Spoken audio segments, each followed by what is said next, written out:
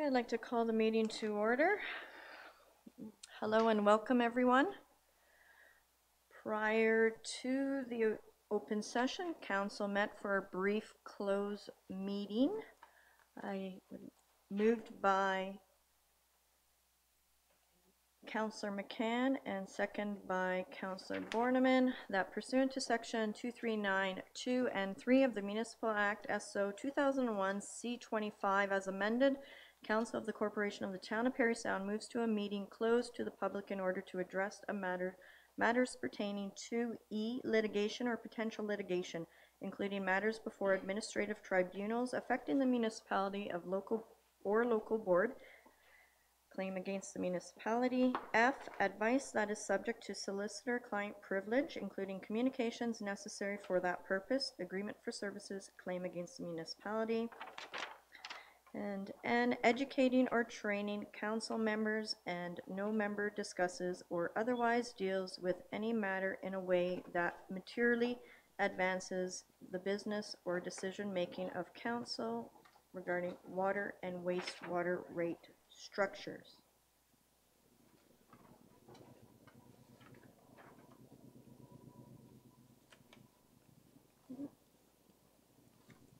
Yes. Next is the agenda. Are there any additions or prioritizations to the agenda? Can I have a mover and a seconder, please? Uh, For the adoption, uh, Counselor Keith and Counselor Borneman, that the uh, council agenda for March 3rd, 2020 be approved as circulated. All in favor? Carried.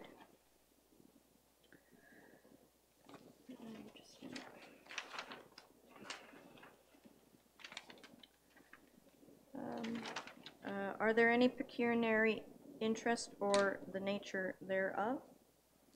Um, I will be declaring a pecuniary interest uh, with regards to item 8.1.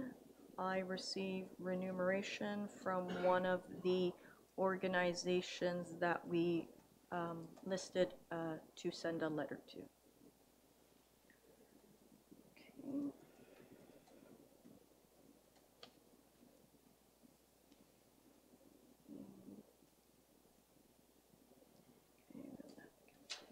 We will now begin the public meeting. Just to uh, inform everybody that we are now going to take a few minutes to hold a public meeting to hear any interested persons with regard to a proposed zoning bylaw amendment under Section 34 of the Planning Act.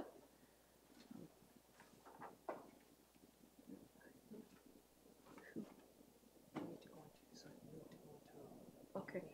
Uh, Can I have a mover and a seconder, please? Uh, Counselor McCann and Counselor Borneman, that we do now adjourn the regular meeting and declare the public meeting open. Ms. Johnson, could you explain how the public was notified of the zoning bylaw amendment Z-20-01, additional unit amendment, Town of Parry Sound? Yes, notice was given by prepaid first-class mail to the required prescribed agencies, posted in the newspaper, and was placed on the town's website. Thank you. Uh, Mr. LG, could you explain the purpose of the proposed zoning bylaw amendment? Certainly.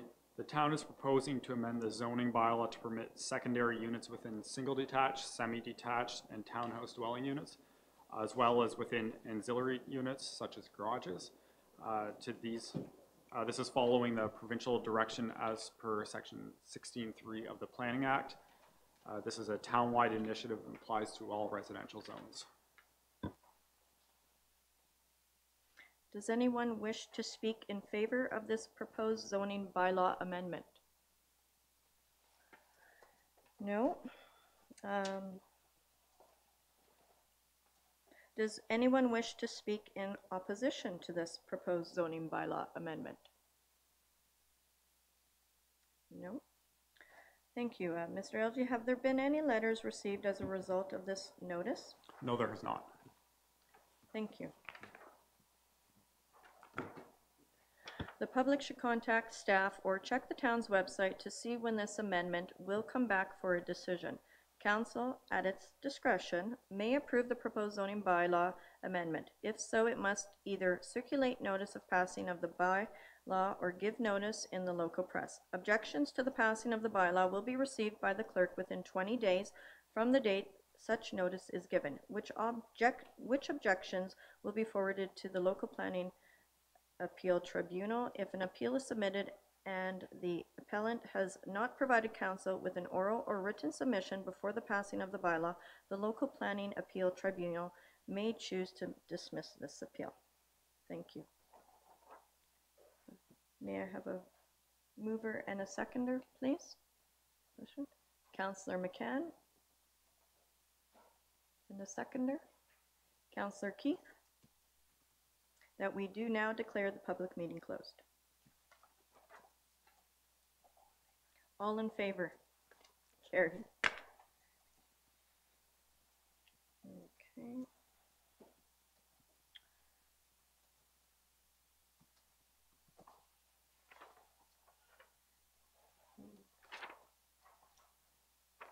Oh, sorry.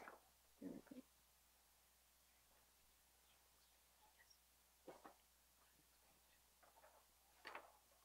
Okay, sorry.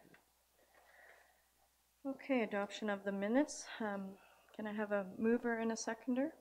Counselor Borneman and Counselor McCann, that the minutes from the regular council meeting held February 18, 2020 be approved as circulated. All in favor?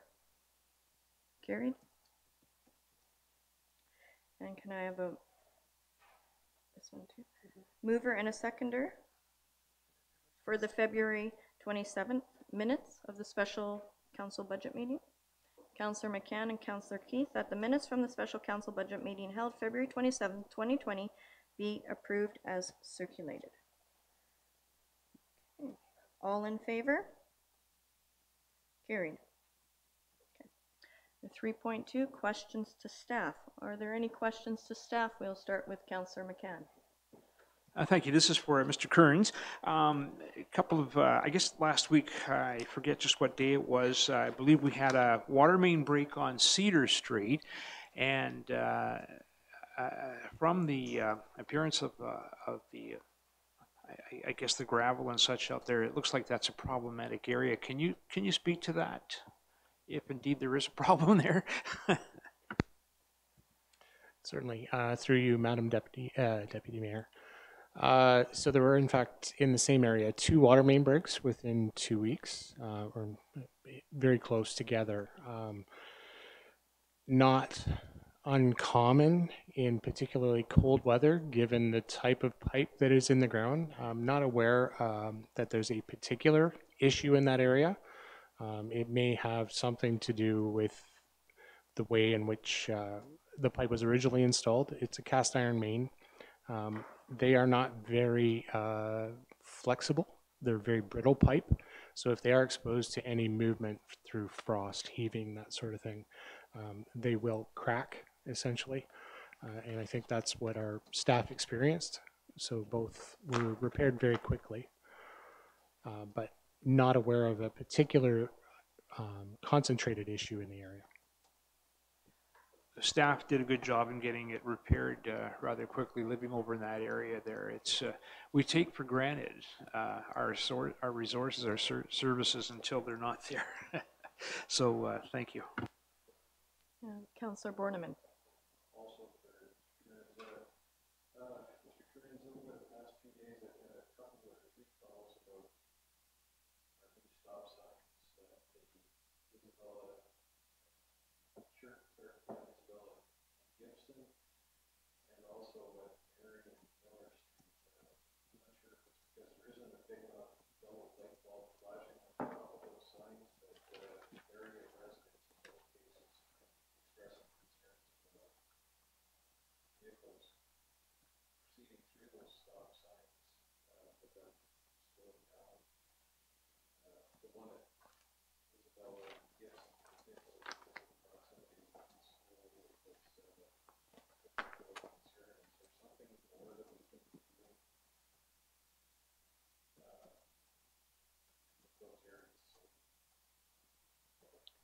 Uh, through you, Madam Deputy Mayor. Um, i am well aware of both of those intersections, uh, and, and, you know, from a personal perspective, uh, the new one at Isabella and uh, Gibson is well signed. Um, you know, the lights are, are very apparent. Um, you know, it's it's hard to miss them. Unfortunately, um, sometimes driver habits are um, more a, a symptom of society, perhaps. Um, I think it becomes difficult with stop signs in particular, and uh, you know we're looking at some different options through um, some of our budget discussions in terms of, of traffic control and traffic calming. Um, however, stop signs are problematic um, in that my understanding is in order to enforce, someone will have to witness it. Um, you know, whereas red light cameras are something that are being explored more and more. That's a problem as far as a stop sign goes, though, because that's not um, it's not tied to the signalization of the lights. Um, and there's some uh, uncertainty as to the admissibility of video evidence. And certainly, I think, you know, from an enforcement standpoint, and I'm certainly not the, the expert um, from that standpoint, but I do know that um, when they do go to court, uh, there is a decision made um, at that point. So that's something that's beyond our control. Uh, I think that we, our best efforts are made in education uh, and through the public and trying to bring awareness to the uh, how important it is to maintain safety at those crosswalks for all the users. Any further questions? Thanks. Counselor Keith?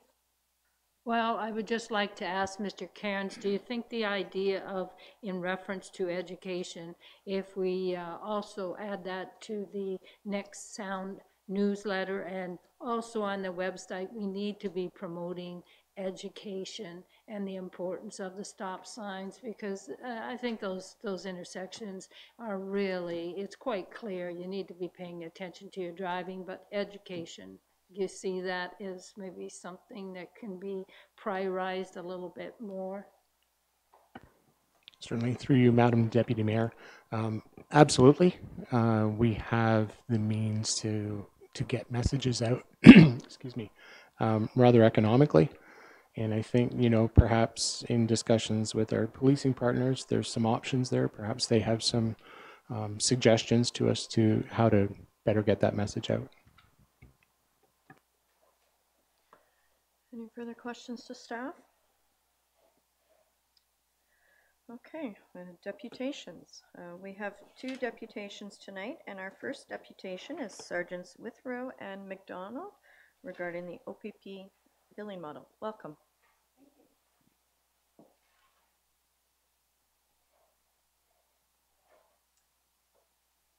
Please, please turn the microphone. Thank you, everyone. So my name is Kelly Withrow. I am a sergeant with the OPP Municipal Policing Bureau, and I am a municipal policing specialist with the OPP. And with me, I'm sure you all know, Staff Sergeant Jeremy McDonald, Detachment Commander. So I have been asked here tonight to speak about the OPP billing model. So, when I speak about the OPP billing model, I like to speak from the top down. So the provincial government provides the OPP with a provincial policing budget of $1.174 billion. So 64% of that is provincial responsibility, and 35% of that is municipal policing resource. So the 64% accounts for $752 million of that cost recovery of the $1.174 billion. And 34%, or $409 million, accounts for municipal policing resources. So the 64% is provided at no cost recovery to the municipality, and the 35% is where we do the cost recovery. So if I go in depth in each section of this, so the 64%, which is the provincial responsibility, which is provided to the municipalities by the OPP at no cost recovery, it includes things such as traffic safety, so that's our aircraft, Um, Our traffic safety program, we have our snowmobiles, we have our marine unit. It also includes investigations, so our criminal investigations, so um, our homicide, child sexual exploitation, so um, any sort of child sex crimes. Anti-rackets is our fraud. Organized crime and investigation and support, all provided at no cost recovery. It also includes our intelligence, so our covert operations, so this is our undercover. Um, anything anti-terrorism, analysis and information, our field intelligence. We have our specialized re- response team, so this is our emergency medical services, our aviation, so the K-9 unit. We have our ERT team, anything negotiation, and our tactics of um, search and rescue. Uh, we also have our auxiliary, community safety, unincorporated territory, and indigenous policing. So all of these provincial resources are provided to your municipality by the OPP at no cost recovery.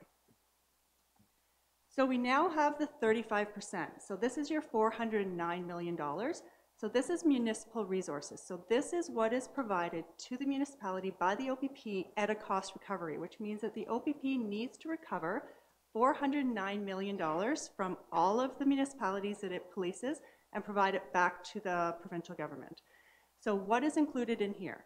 It's our detachment staff, so supervision. So you have your detachment commanders, your staff sergeant, your inspectors. You have your frontline constables. You have your civilian, administrative, and support at the detachment. You also have support positions such as communication operators, so your dispatch, your prison guards, your provincial police academy, so any of our new recruits coming through. You have your in-service training, so every one of us as police officers, we have to do in-service training every year to requalify. That's a part of it. Municipal Policing Bureau, which is what I'm a part of, quality insurance um, to make sure adequacy standards are met. We have our forensic identification, we have IT at our regional headquarters. So all of those are municipal responsibilities, and that's where we recover the $409 million. So how do we recover the $409 million from municipalities? It's what we call the OPP billing model. So if I start from the beginning of where the OPP billing model came from, so back in 2012, the Auditor General was receiving a number of complaints from municipalities, and what they were saying was the old model, it was confusing, they didn't understand it. Some municipalities were paying um, like $35 per property, some were paying all the way up to $895 per property. So the Auditor General said, okay, I will form a team and I'll take a look. So after some sessions with this team, they took a look at the model and they said, yep, you're right. It doesn't, it's not transparent, it's not fair. So they went to the OPP with some recommendations. So what they said was three main recommendations. We need you to create a new billing model. We need it to be fair and transparent. And we need you to address the varying differences in the properties so that it's more lateral. So what the OPP did from 2012 all the way to 2015 is we created this new billing model.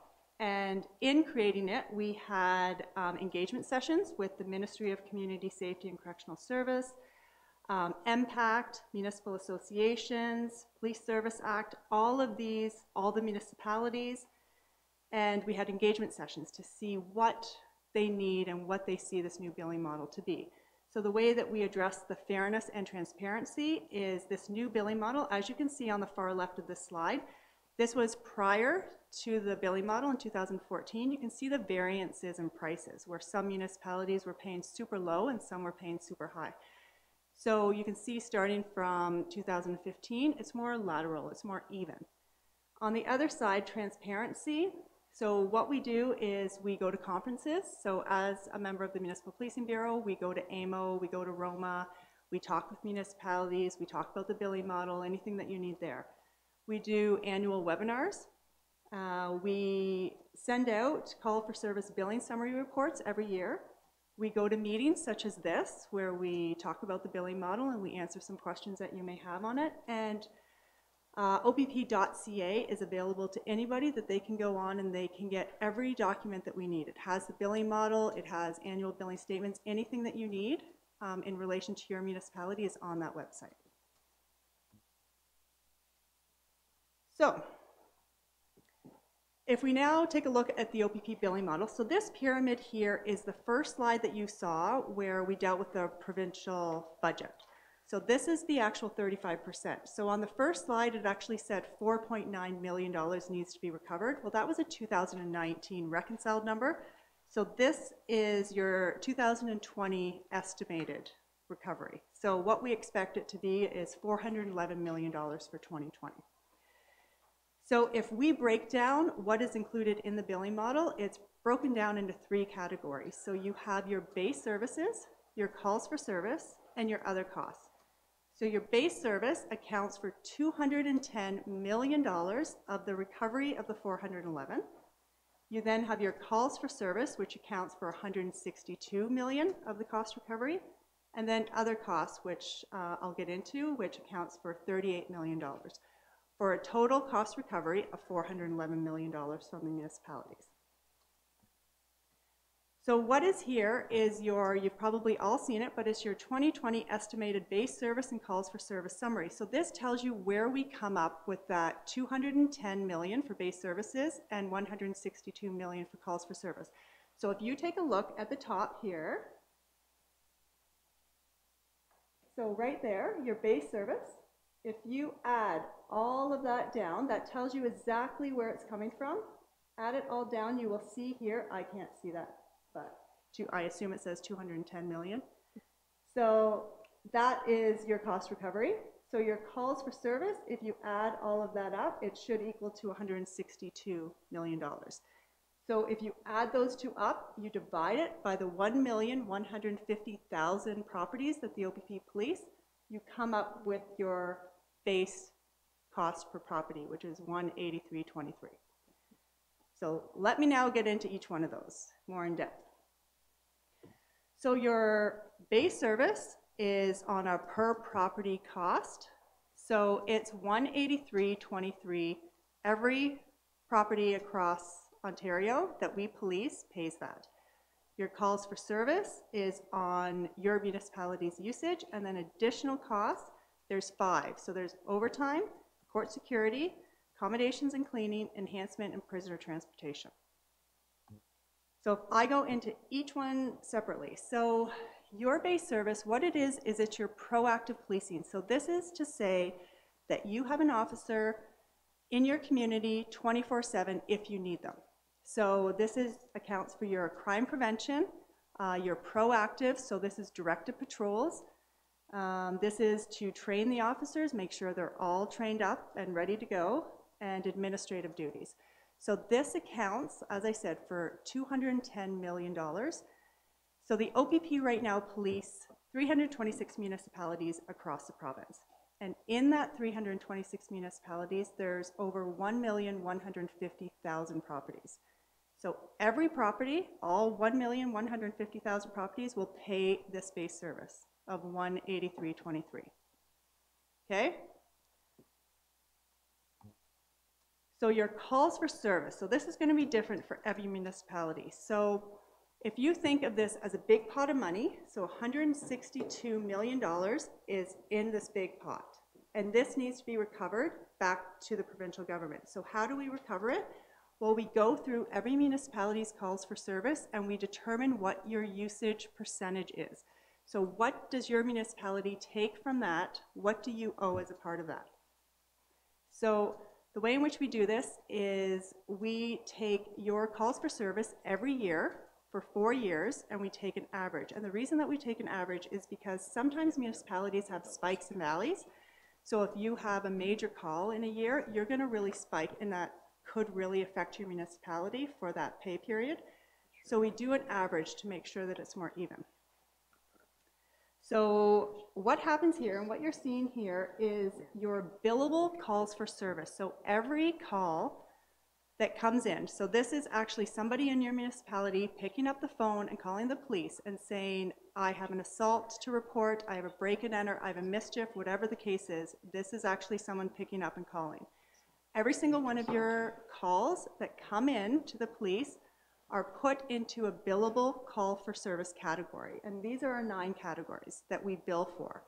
So if a call comes in and it's not part of this category, you're not billed for it. Okay? So what we do is we take all of the calls for service across the province and we figure out a time standard. And what the time standard is, is you can see it to the far right, your average time standard for each of the billable calls for service. We then determine what your call for service is and we multiply it by the time standard and we figure out your percentage of that pot, of the $162 million. Okay, it might make more sense when we actually look at yours. So the additional cost, so this is the $38 million that needs to be recovered. So as I said, there's five things. There's overtime, court security, prisoner transportation, accommodation and cleaning, and enhancements. So overtime is simple. If your municipality, if your officers in your municipality accumulate overtime, you pay for it.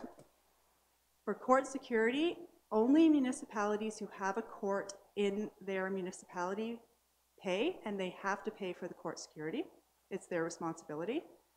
Prisoner transportation is on a per property basis. So as I said, the OPP polices 1,150,000 properties. Every single property pays $1.99 for prisoner transportation. And the reason for that is because every municipality needs prisoner transportation, whether it's to transport a prisoner to court, whether it's to transport them to a correctional facility, everyone requires it. Um, accommodation and cleaning, you only pay accommodation and cleaning if the OPP provide the accommodation and cleaning. So if you as your municipality have provided the accommodation and you contract out your own cleaning, you don't pay for it. But if you rely on the OPP to do it, then we cost on a per property basis, again, at $4.78. Okay? Now enhancements. Enhancements are a dedicated officer. So if you decide as a municipality, you have a school and you want one officer in that school Monday to Friday, 8 to 4, no questions asked, you can have it, but you will, pay for it 100%. Okay, it's not expected that other municipalities will pay for your enhancement. Okay, so this is your front sheet of your 2020 annual billing statement. So as you can see, see the top section here? This is your base service. Okay, so what this tells me is that you have 3,428 properties. Now the OPP gets that property count from MPAC. So because our cost per property for 2020 is 183.23, all we do is multiply it by your property count to come up with your total cost of 628,117. Okay, that's a simple calculation. Now your calls for service is a little more complicated because what you can see here is that $162 million that needs to be recovered. And what it's saying is that your percentage is 0.8% of that $162 million, which which you can see we actually bring it down to a per property cost, but it's a total cost of 1,318,164 of that $162 million cost recovery. Now, your overtime. So what this snapshot tells me is that you have accumulated, um, or will be expected to accumulate, almost $60,000 in overtime. It tells me that because you're paying court security, you have a court in your municipality, so you will be paying court security. That comes to $135,000 for 2020. Prisoner transportation, as I said, it's $1.99 per property, so that's a simple calculation of 199 times your property count to come up with the 6,800. Your accommodation and cleaning, the fact that this is on it for $4.78 tells me that we provide your accommodation and your cleaning. So you pay for it, and it's $16,000 for a total estimated cost of $2.1 million. So the year-end adjustment. So what this is saying is, because this is a 2020, this is an estimate. This is what we expect it to be for 2020. So if at the end of the year we determine that we have overestimated or underestimated, then that is provided back to you. So what this is telling me in 2018 is we overestimated. So we gave you back $75,000. So as you can see, it's now down to 2 million. We divide that by 12 months, for $174,000 a month. That's owed. Now, with all of this said and done, the billing model, what it does for us is it provides adequacy standards. So the Police Service Act requires that the OPP provide every municipality that they police, so all 326 municipalities with um, adequacy standards. So what that entails is crime prevention, law enforcement, assistance to victims, public order unit, and emergency response. So it makes sure that we meet adequacy standards.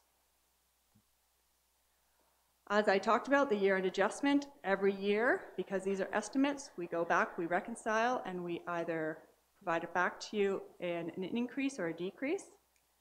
And then what this tells you is your annual billing comparison from 2015, when the OPP billing model was implemented, until now. So as you can see, it is for 2020, the cost recovery, $411 million. Your average cost per property for the OPP is 358, and base service cost is 183.23. And as you can see, it has slowly been going down every year, and the reason for this is because we keep taking on other municipalities. So the more municipalities that we start policing, the more properties we start policing, and the more um, that they start paying as well. So your cost is going to be going down. Um, and yeah, so as you can see, your municipality property count from MPAC is going up, which is the whole reason why the base service cost can go down. So that is it in general. Um, but what I can do is show you your annual billing statement and your calls for service if you want to see how we calculate your percentage. Uh, Please do. Yeah, Yes, okay. thank you. So.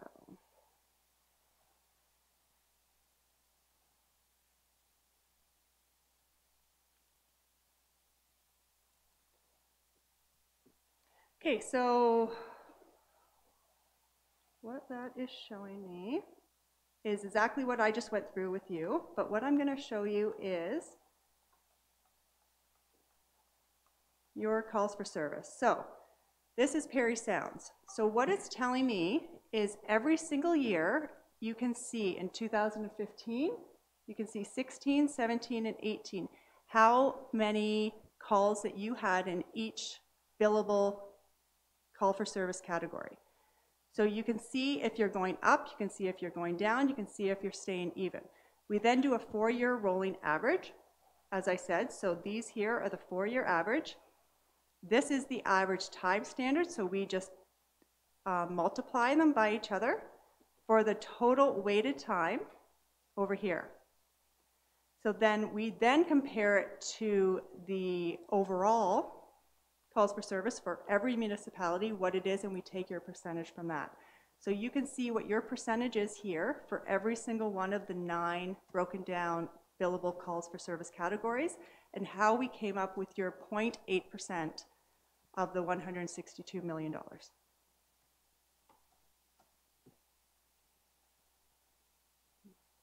Thank you. Clear? Any questions?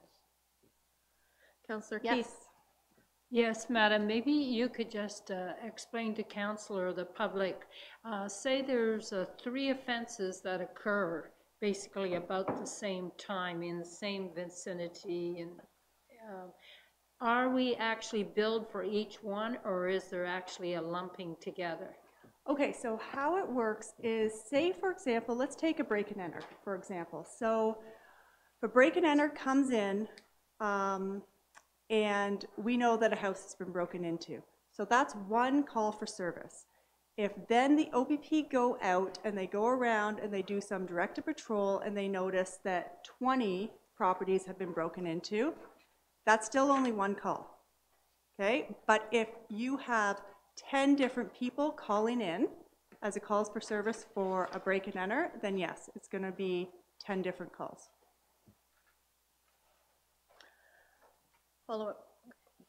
Yes. Just for one other uh, question, um, can you explain about the role of um, the individual now being able to use the computer and to re- report some of the Yeah. offenses? And it ha- is that, does that affect our billing model? Can you explain that? It does. So what we have now gotten into is online reporting. So online reporting does not count as a call for service.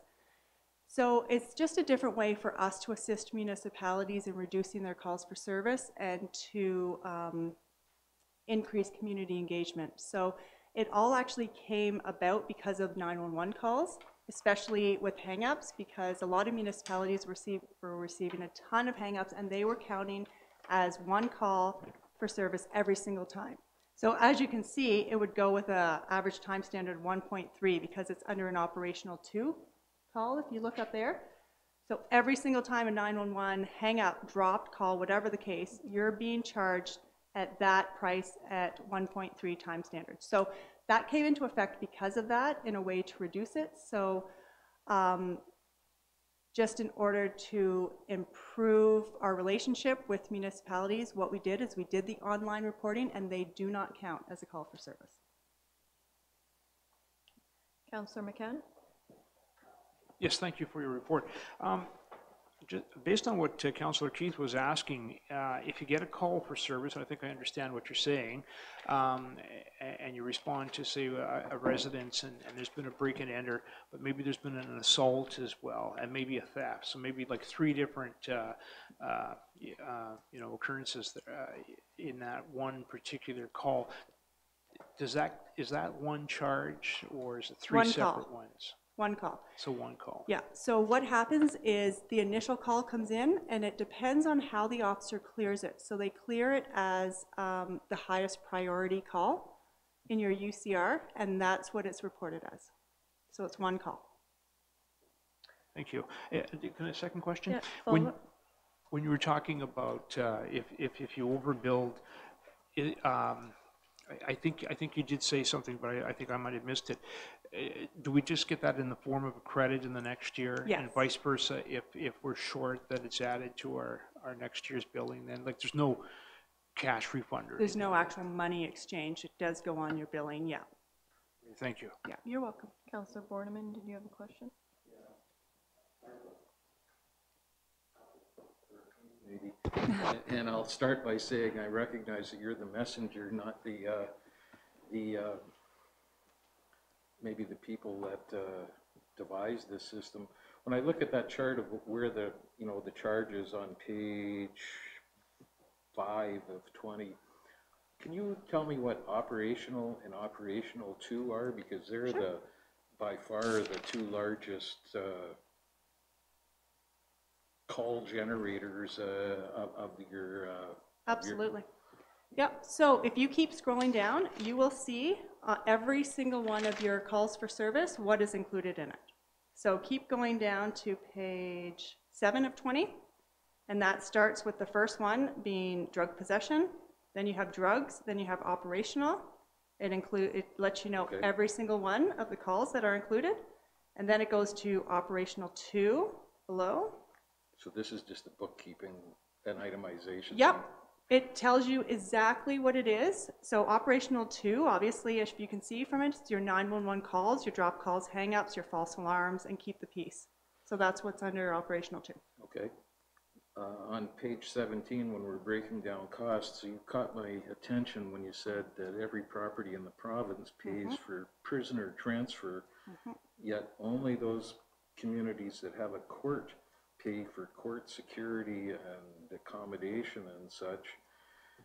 Um, And again, as I said, I recognize that you folks don't make the rules here, that someone else devised the system, but it, it does beg the question of- fairness. You know, not all of those court prisoners, uh, not all of the dirt is, is arrived at from citizens in Parry Sound. Uh, Certainly not all of the security is arrived at for uh, citizens from Parry Sound that, uh, and it begs the question why those costs aren't incurred on a, an equal basis, the same as transportation. As, and as, as I said, I, I get it that you guys aren't the ones who, uh, do this, but it, it, uh, it, it does beg that question for, uh, those of us who were tagged with those costs. And I think it's important, you know, it's been pretty consistent, uh, five hundred and eighty odd dollars, five hundred and ninety dollars, uh, to a tax bill in this community is for policing. It's by far the largest single cost that, uh, Parry Sound incurs. And, uh, you know, so as I say, I think in fairness, uh, some of those questions need to be answered. Right. Did you want, would you like me to respond to that, or is it just a blanket? Well, as I say, I don't expect. Yeah, I, I don't, you're right. Yeah, absolutely. So I totally understand that and I get the concern for sure. Unfortunately, that is the only way that they can see it work. So for example, um, if you have a court in your municipality, you pay for it. It's the same as a school. So if you have a school in your municipality, like a high school, like a huge high school, and it accumulates a ton of calls for service, even though there's a ton of people from outside, a ton of students from outside your municipality attending that school, they are responsible for it. And I understand the unfairness in it, absolutely, but that is the way that they have figured out, the only way that they figured out. But, okay, let me also add that there is grants. Okay, so there is um, court security grants that are provided, and it's provided by the um, Solicitor General, and it is provided by us two times a year, so in February and in October.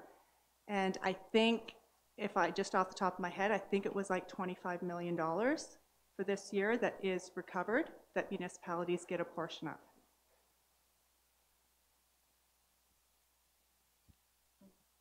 Councillor McCann? Just curious, I think I know the answer to this, but uh, when you talk about court security, are we talking provincial offenses as well as, uh, as well as provincial court? uh, Yes, Downtown? yes. Any further questions? Well, thank you very much. That was very Thank you. informative. Good, thank you.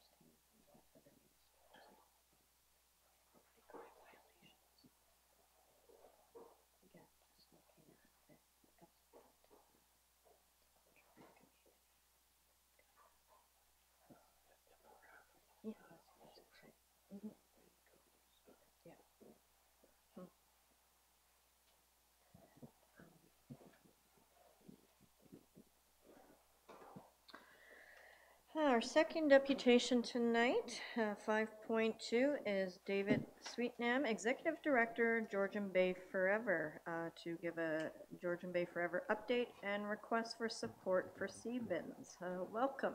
Thank you. Uh, Pleasure to be here again in front of you. Um, I guess it was about a year and a bit ago that we sat down and asked for some, or two years ago, that we asked for council to consider supporting the microfibers uh, project with a letter of support for our application, which, as you know, we were successful in. And I have some preliminary numbers, uh, figures that I thought I would share with you uh, this evening. Um, while as scientists, we like to have uh, multiple points of, uh, of data to kind of amass and make conclusions from, I'm not going to make all the conclusions. I'll just kind of give you the, the initial point uh, of data collection that we've got.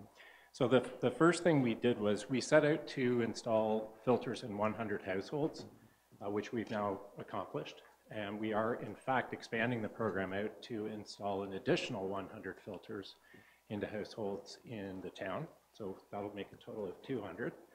Um, but at the time we did the first collection of the fibers that had been uh, trapped by the filters, we only had 70 households online.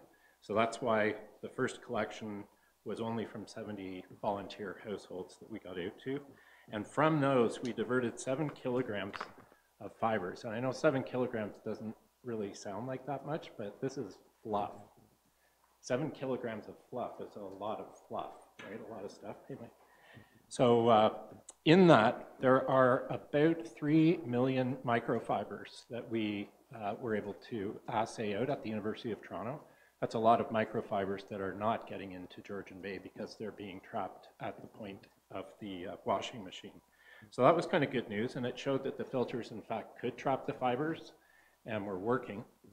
Um, the second thing we needed to do was actually look at the effluent coming out of the wastewater treatment plant and try to determine if we could see a decline in the number of fibers that were going out through that uh, system. Roughly, we had 10% of the uh, households covered, so we thought we should see something around that magnitude. And like I said, it's only a single observation, but in fact, we are seeing a very statistically significant decline in the microfiber concentration going out of the wastewater treatment facility. So that's good news, and I think it, it does bode well for the, the oncoming uh, samples that we'll be doing and reporting on that'll show that this is an effective uh, tool in the arsenal of things. Um, we have uh, conducted 13 shoreline cleanups with the community where we had volunteers come out, many of them who were filter uh, volunteers as well, had the filters installed in their homes, but came out to the shores of, uh, of the sound here. And we removed uh, over 1,200 pounds of garbage in those collections, which is a lot of uh, pieces of, of foam and plastic. A lot of what we're finding in this area seems to be dock foam. So at some point, we'd like to come back to council and tell you what we're doing on the dock foam side of the equation. And, uh, and some of the initiatives, we've, we've put a special committee together on that to try to come into the township and talk about uh, how we can avoid um, that source of pollution if it's a common one. Um, we've educated over a thousand individuals in the community, run a number of workshops, and done uh, a lot of outreach and presentations, as well as in the surrounding uh, cottage communities. And we've, uh, we're really quite uh, happy with the results to date, and we're continuing to actually push forward with uh, some recommendations that we'd like to make to all levels of government, even the provincial and federal governments, but to look at actually continuing to pursue the installation of these filters by the manufacturer in the product when they make it, instead of relying on individual householders to add it aftermarket, because there's uh, some significant costs in adding the filter, putting the plumbing in place, and making that installation happen too. So it'd be nice if the manufacturers were somehow mandated uh, to put the filters right in the machines, as in fact they used to be back in 1950s, 60s, 70s and then they got taken out because they wanted to save uh, money on each machine, right?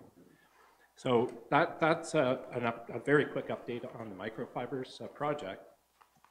And what's kind of grown out of that is uh, the second opportunity that's starting to get a lot of um, attention around Georgian Bay right now, and that's this product called a Seabin. And I'll pull up the little brochure so you can see it. I think you have the materials too, but Effectively, this is like a big uh, pool skimmer that is installed uh, attached to a dock. Um, and it is powered, so there's a pump in it that just pulls water through, and the filter unit just traps materials. So it's like creating a little bit of a, a funnel towards the filter by the pump circulating the water out. And it'll trap uh, anything that's floating up uh, or in the near surface water. It won't suck things right out of the bottom of the water, but anything that's kind of floating around the top, including oil sheen. It's not an oil skimmer, but oil sheens that you might get in, uh, you know, vicinities of marinas or, or public docks, town docks. Um, by putting uh, an actual, you know, 3M oil trapping sock just in the unit itself, it'll actually be able to take that uh, sheen off the water. Um, this project kind of started because we were approached by the town of Collingwood uh, to work with them on some type of similar project to the project that we implemented in Georgian Bay with the washing machine. So as we discussed in our original presentation to council, and with your enthusiastic support of the project, this is growing. The interest that was generated in Parry Sound by the participation of the town here has been seen by other municipalities and they're interested in participating too. And one of the things that the town of Collingwood wanted to do is look at their um, public uh, uh, port space where they have uh, kids out rowing, uh, some rowing clubs and things like that. The current mayor of Collingwood was an Olympic rower and had a nice affinity to being in the water and, and rowing with kids. And the kids were out one morning and there was this oil on the oil sheen on the water and it was smelled funny and bad and he just didn't like the idea of the kids kind of being exposed to that as they were uh, exercising. So uh, the technology was designed by two surfers in New Zealand, but it's now gone around the world. They, they raised a lot of money on one of these uh, social media uh, money sites. And now the technology is proven and installed, and there's a number of marinas in Georgian Bay that are purchasing this uh, technology. But we'd like to try to see, seize on the educational opportunity that it presents. And that is, if you can imagine down at the uh, town uh, dock or the pier, um, having some educational signage about the water and things you shouldn't be putting in the water or how you shouldn't be throwing garbage on the street because that eventually washes into the storm sewer and goes right out into the bay or your plastic water bottles, whatever it is. There's lots of educational opportunities around how people connect dir- directly to the water and how their behavior can actually adversely impact it, as well as the fact that the unit would be sitting there and actually working and actually removing plastic from the water. Um, so they're fairly expensive to purchase. So what we are, are doing is actually, as we did before with the other plastics project, we're putting an application for funding in to a variety of funders. And we'd like to ask the town for a letter of support that we can attach to our applications when we go looking for money to purchase these. Um, part of that support, we would ask, and this is where the town of Collingwood has uh, come in too, is um, in providing the operational uh, management of the unit. So staff would be going out and emptying it. Um, The electricity provided for it would be provided through the town or the, the town's property. So that uh, our organization would uh, help with the capital acquisition, um, installation, signage, marketing, any of the kind of materials that are prepared for it. But the town would undertake kind of the ongoing operations of that as an in-kind type of expense. Um, The other thing that uh, we would ask for is that in making this, uh, uh, the public aware of water quality and, and this particular uh, device, is that uh, the town's communication tools, newsletters and things like that perhaps could include some articles or discussions of this uh, as well.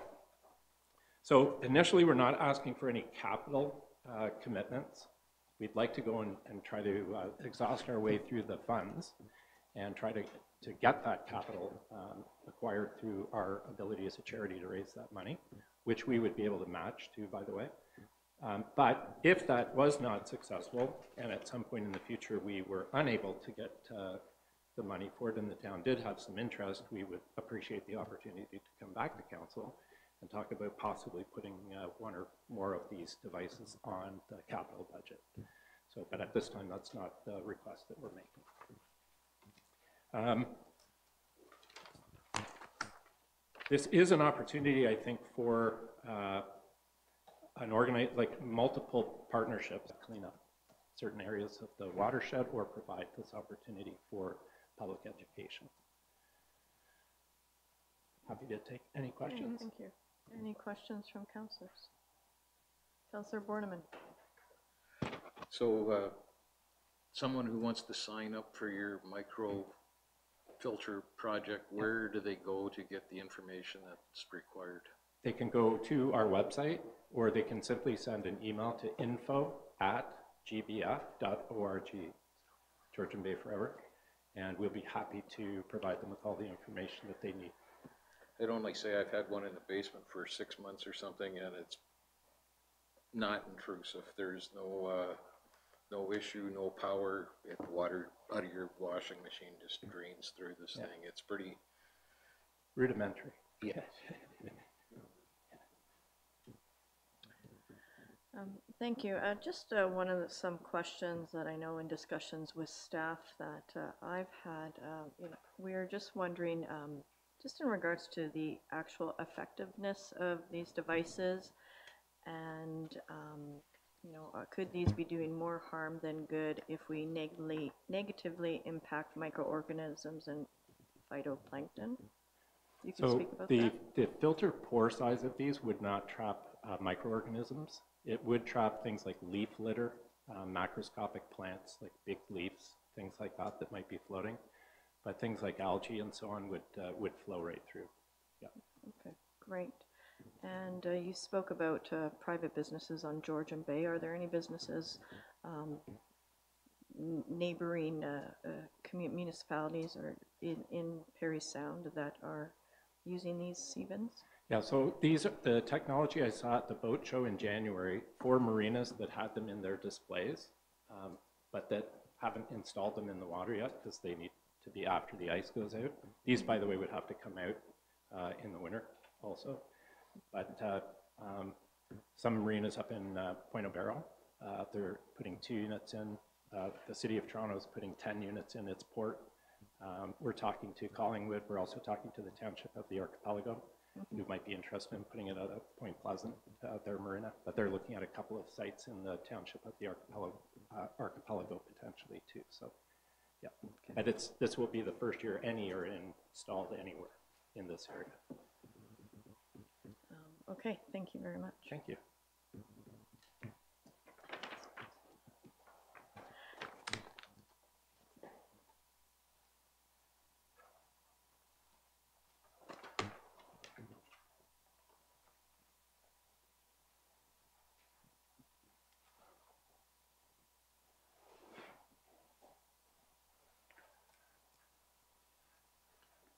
Okay, next, item six, uh, mayor and councillor reports. Uh, Tonight we'll start with uh, councillor McCann. Okay, uh, thank you very much. Uh, Good evening. um, Good evening, uh, Madam uh, Deputy Mayor, Council, and the public. Wednesday, February 26, I attended the Belvedere Heights Board of Management monthly meeting. Financial statements uh, were presented. We approved our budget for 2020, and we're moving uh, forward with our application for additional beds. And in 2020, Belvedere is focusing on a quality improvement plan to engineer teamwork and uh, communication and to involve uh, consistently assigned personal support workers uh, in care plan meetings. We're also investigating new software uh, to uh, help us manage our reports uh, for the ministry and, and other uh, necessities. Uh, a system called Point Click Click Care, which is a cloud-based uh, uh, system, so we're still looking at that.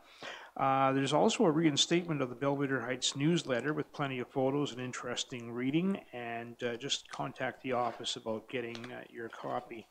Uh, Thursday evening here in council chambers, then I attended a special town council uh, meeting for the purpose of discussing the 2020 budget. That was, of course, on the 27th.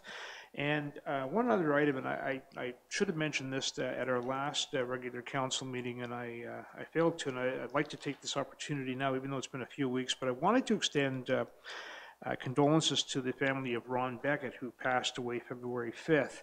Uh, he was 75. Ron was well known in the community. He uh, did local radio advertising sales since the 1980s when the station was CFBQ and then CKLP and, and then the Moose. Uh, prior to media sales, he was in wholesale here in town at the former Gregory and Greek uh, business. Uh, through Kinsman and various volunteer efforts, Ron was a pillar of the community, and he certainly will be missed. So condolences to uh, to his family. I had an opportunity to work with him for a number of years. Uh, a great guy. Uh, so condolences indeed. And that is my report. Thank you. Okay. Councillor Keith? Thank you. Uh, Good evening, Madam Deputy uh, Mayor, fellow councillors, staff, and the public. My report will be short. I spent the day uh, attending a roundtable discussion uh, in reference to the Police Service uh, Boards Act, the changes in the act, and uh, getting information from other municipalities and providing uh, comments because they're at the point of looking at policy and um, developing it in reference to legislation. So that was uh, very interesting and informing. Um, to uh, me, as I'm sure to other municipalities.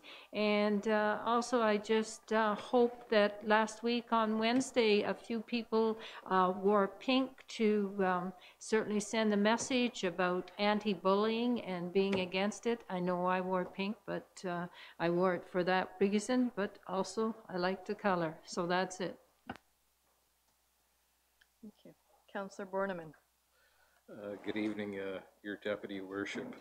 On the 26th, Councillor McCann mentioned the Belvedere uh, Heights uh, Board meeting. I'd only add that the, uh, the budget that was passed uh, sees no increase in the municipal levy for 2020, the first time that that's been managed in several years. Uh, A number of steps, as Councillor McCann indicated, are are being taken to uh, um, stabilize the finances at that institution. I think chief amongst them looking for increased partnerships with the West Parry Sound Health Center and Lakeland and the three-year plan to create additional beds resulting in additional revenues.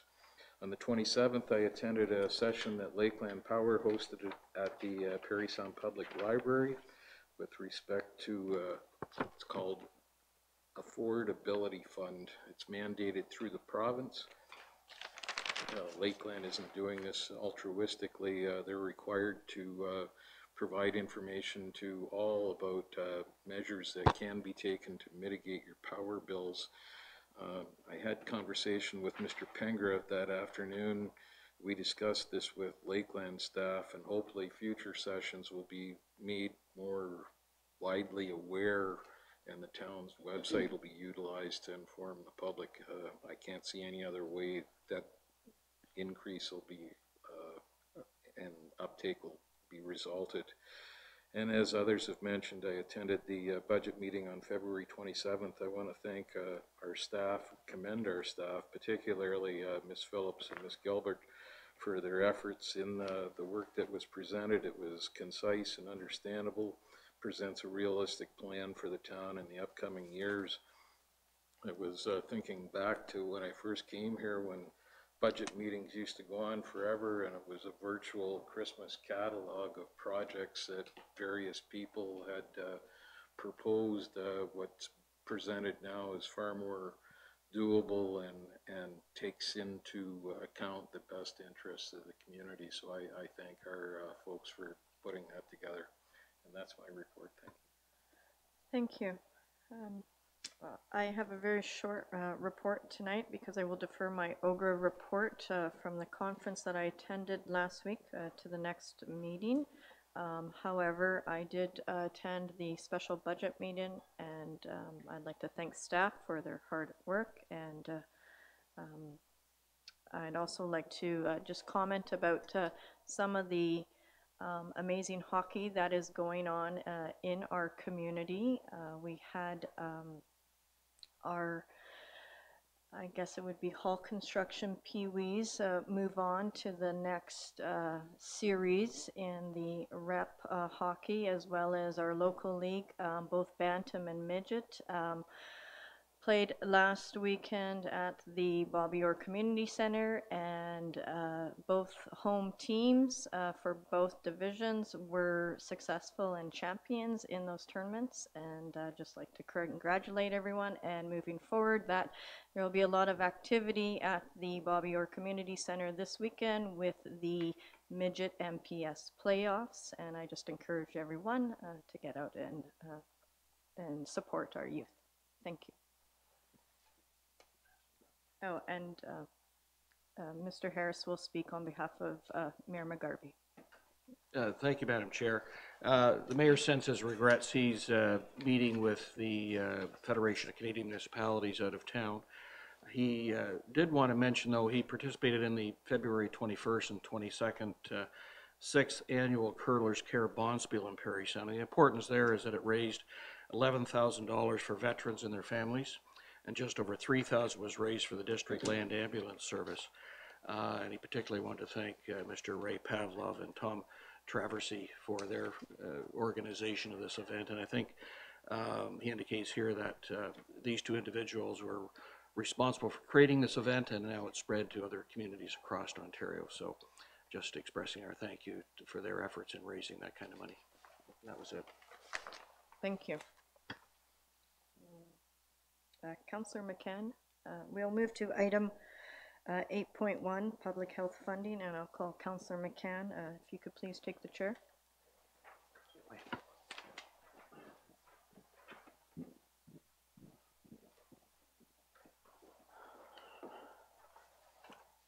So just to re-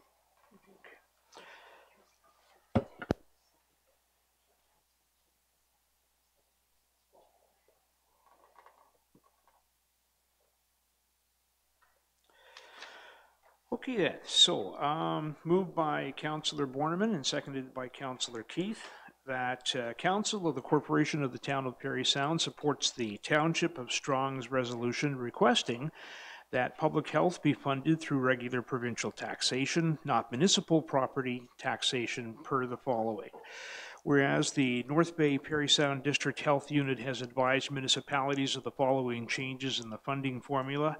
Uh, Change from 2575 municipal provincial to 3070 for man- mandatory programs, and change from 100% provincial funding to 3070 for a number of other uh, related programs. And whereas these changes will result in a 42% increase in the municipal levy commencing in 2021 with no increased service delivery.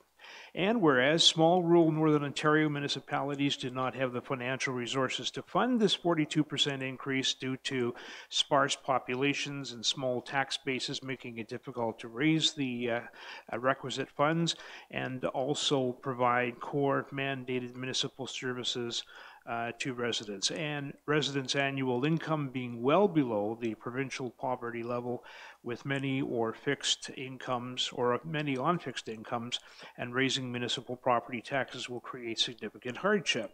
Hence, the town of Parry Sound states that it requests the corporation remain under the auspices of the North Bay Parry Sound District Health Unit and under the rural and northern Ontario designation. And whereas the province of Ontario is currently reviewing the mandate and operations of public health units, therefore be it resolved that the town of Parry Sound requests that Jim Pine, a facilitator of the Perry Sound Health Modernization Consultations, review the current funding formula for public health and rural and northern Ontario municipalities proposing exemptions for the province to implement for 2021. And that the town of Parry Sound contends that Perry Sound Health, as a pillar of the Ontario healthcare system, be funded through regular provincial taxation, not municipal property taxation. And further, that this resolution be distributed to all 22 municipalities in the District of Parry Sound for endorsement, with copies forwarded to the Ministry of Health, Minister of Long-Term Care, MPP Norm Miller, MPP Vic Fedeli, Ontario Health Board Chair, uh, FONOM Chair, uh, NOMA Chair, and uh, AMO Chair, and the North Bay Parry Sound District Health Unit. Discussion?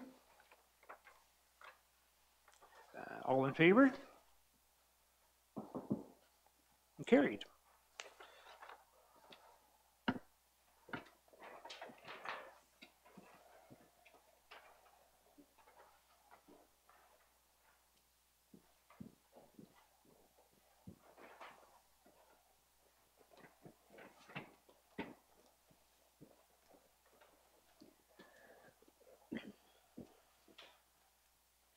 Okay, item nine point one point one, water and wastewater rate study. Um, Ms. Phillips, um, before considering the direction, is there any further information you'd like to provide?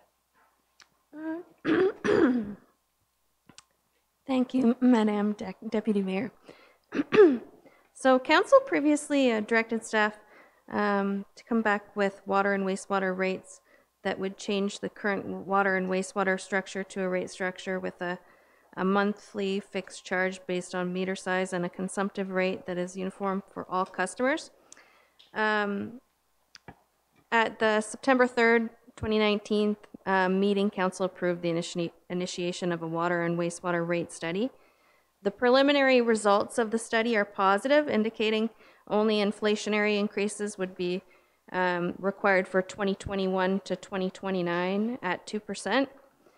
Uh, And um, initial, initial calculations demonstrate that a change from one pricing structure to another, uh, as previously directed, would uh, result in different impacts to different types of users, as indicated in the report.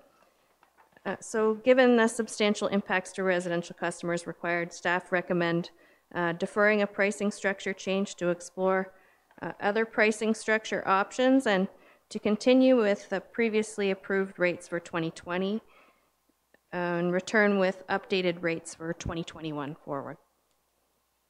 And the final results of the study. Any questions?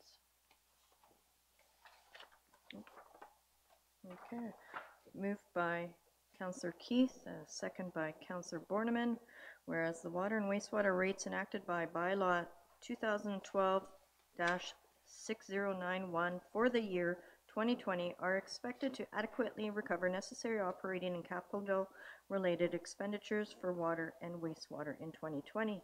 Now therefore, council hereby confirms the water and wastewater rates as enacted by bylaw 2012-6091 for 2020 and further, that pricing structure changes be deferred for a staff report and recommendation on additional pricing structures for consideration of updated rates for 2021.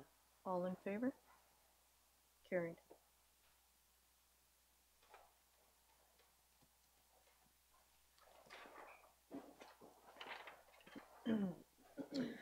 Item nine one two, tender award, new reception desk.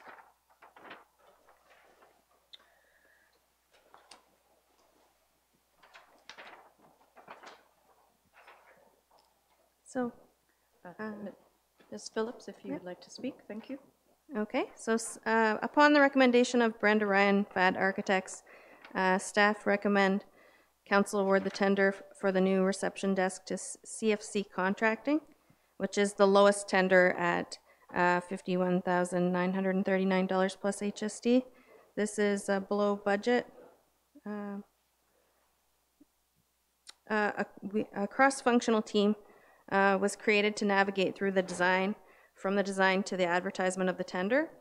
And uh, initial uh, front counter needs for staff and customers were developed by seeking staff input through surveys and feedback, which was sought throughout the design process. Uh, construction would be expected to begin in mid-April and substantial completions targeted at early May 2020. Are there any questions? Any questions, councilors? Counselor Mc, uh, Counselor Keith? Thank you. Uh, Yes, my question has to do with, uh, while the uh, reconstruction, this redesign is occurring, because we also know that we know the importance of safety, but how are things going to function? Are we, are we still for business, being able to conduct business, or are we shutting down the place? Uh, yes. So, uh, through you, Madam Deputy Mayor, during the construction, uh, a temporary service desk will be set up at the town. So, one of the options that staff are considering is to serve residents at the Gibson Street uh, entrance. Uh, a group of staff has been assembled to develop a solution on site, and those service cha- changes will be communicated to the public by way of a website and social media once um, they're determined, like the final uh, service counter details are determined, yes. Well, I've heard, thank you. Well, I've heard about how we're going to use the grand computer, but will I assume there'll also be signs for people who don't have a computer, so they'll know where to go, what door to go in, so to speak? Yes, so uh, we'll post signs on all of the entrances of the building so that people will know um, uh, where to go for service. Yes. Uh, Counselor McCann? Uh, Thank you. Uh, So a comment and a question. Uh, The, uh, the contractor, CFC Contracting, I understand they've done some work for us at the uh, Bobby Orr Hall of Fame, uh, and we're pleased with their work. Yes, so um, thr- through um, Madam Deputy Mayor, we we have inquired with the Bobby Orr Hall of Fame staff, and and they're satisfied completely with the the work done during their um, display redesign down there. So my comment is, um, uh, in looking at the diagrams, uh, and the drawings, I'm, I'm very pleased to see that the, uh, uh, that that new installation will make good use of the, uh, the, uh, the space in, in the front office. Once the, that one particular desk behind the uh, reception desk was removed, you've got a wide open space there, a lot of wasted space, so this makes good use of that. And I think uh, this is the beginning of, of uh, developing uh, a more secure uh, entrance uh, for the town office. I think we've had some incidents in the past that, that have proven that we must protect our staff. And uh, not only those at the front desk, but uh, those throughout the whole building. So I'm glad to see this. Any questions, Councillor Borneman? No. Um, I'd just like to say, um, as being present in the building one day when um, someone came in with a parking ticket um, and having seen what our staff had to uh, deal with, uh, I'm very pleased and supportive of this as well. Okay. Okay. Uh, Moved by Councillor Keith, second by Councillor Borneman, that upon recommendation of Brenda Ryan Fad Architects, council award the tender for the new reception desk front counter redesign to CFC Contracting, Inc. in the amount of fifty-one thousand nine hundred and thirty-nine dollars plus HST, this tender being the load- lowest of three tenders received.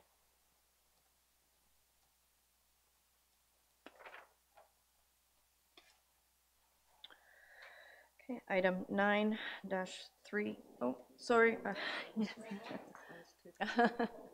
Ah, there we go. Um, Yes, all in favor? Carried. Thank you, Counselor Keith.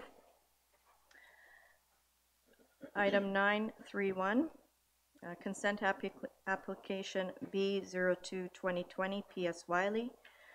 Um, Manager Manager of Building and Planning Service, Mr. Elgie, if you can please speak to this, or do you have any questions you'd like to, comments you'd like to add?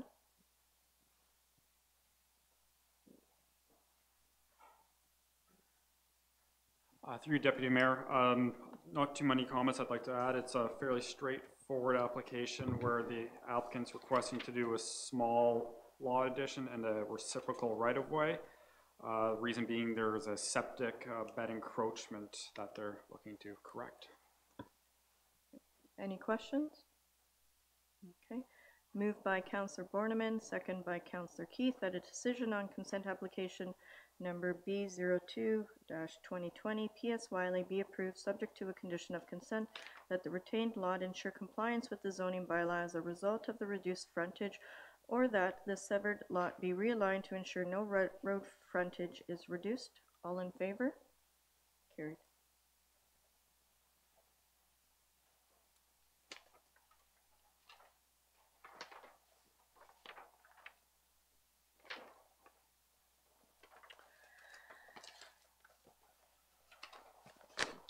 Item ten three one, site plan application, S nineteen 5 Micro Suite Properties on Church Street. Uh, before considering the direction, is there any further information you'd like to provide, Mr. Elgie?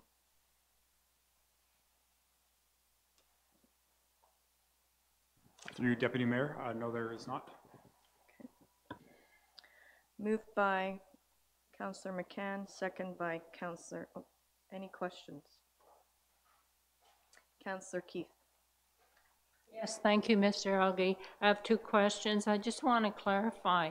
Um, With this site plan, it seemed to me that the garbage would be respon the garbage that's there, is that going to be the responsibility of the landlord uh, in the future? And my second question is uh, in reference to the parking lot, which is gravel. Is there going to be a designated area for barrier-free? And is that percentage above what is usual for our community? Uh, Through you, Deputy Mayor, uh, yes, the- there is garbage being stored on site. It'll be in a fenced-in enclosure. Uh, There is a boilerplate provision in all of our site plan agreements that say uh, garbage is always a responsibility of the property owner unless the municipal garbage policy says otherwise. In this case, it's my understanding that uh, the garbage policy for the town says 10 residential units is their responsibility to r- remove it. Uh, That's why they've, they've shown it there. Uh, Second question, yes, there is one barrier-free space provided. uh, For the amount of parking spaces needed, that's actually double the provincial standard, even though it's only one. Uh, It's just the way the percentages uh, lie. Any further questions? Counselor McCann? Thank you. Yeah, Mr. Elgie, um, Lakeland Power didn't sign off on this. They said they couldn't provide the infrastructure needed for the uh, proper upgrade. Is that a problem for the uh, developer? Uh, Through you, Deputy Mayor, um, it- it's not a problem, it's just they noted uh, that substantial um, uh, improvements would be needed, uh, and that they always request in those situations that be forwarded to the developer so that they can discuss what improvements are needed. Uh, Largely, the town's role in these situations is we forward Lakeland Power's requirements or concerns to the developer. They often work out how to improve it in the end. Um, But then before a site plan agreement is registered, we always require Lakeland Power's authorization, so the development can't get too far ahead if it can't be uh, powered. So uh, at this stage, I wouldn't see it's a problem, but ultimately, the the proponent will have to rectify any issue to Lakeland's satisfaction. Okay, thank you. Any further questions? Thank you, Mr. Elgie. Moved by Counselor McCann, second by Counselor Borneman, that bylaw number 2020-7020, being a bylaw to authorize a site plan development agreement with Microsuite Properties Limited, Church Street S19/05, be considered as read a first time. In Favor? Carried. Are all members in favor of having the second and third readings? In favor. Moved by Counselor Borneman, second by Counselor uh, McCann, that the bylaw above mentioned be considered as read a second and third time, passed, signed, and sealed. All in favor? Carried.